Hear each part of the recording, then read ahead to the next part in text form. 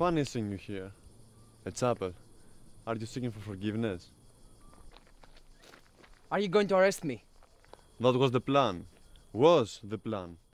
But then I learned that you killed my Sarah. So, the plan has changed. I do have to get even, don't I?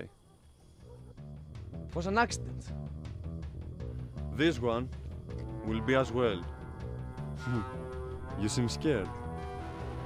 Please don't do it. I'm truly sorry. They forced me to crash your car. I didn't mean to kill your wife. And what? You were meant to kill me instead.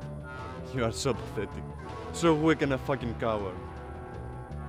You truly disgust me. Don't fear. The others will pay too. Ah. What a beautiful night for a piece of trash like you to die.